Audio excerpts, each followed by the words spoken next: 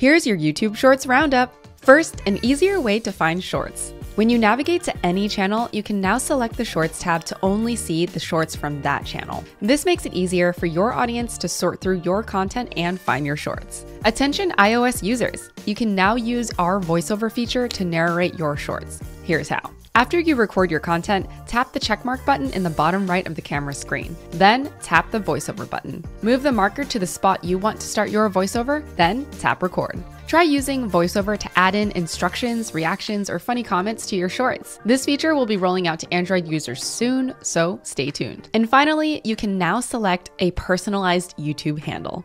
Your handle will show across a few surfaces within YouTube, including your channel homepage, search results, the shorts feed, within comments and community posts, and more. Go to youtube.com slash handle for more information and to get started.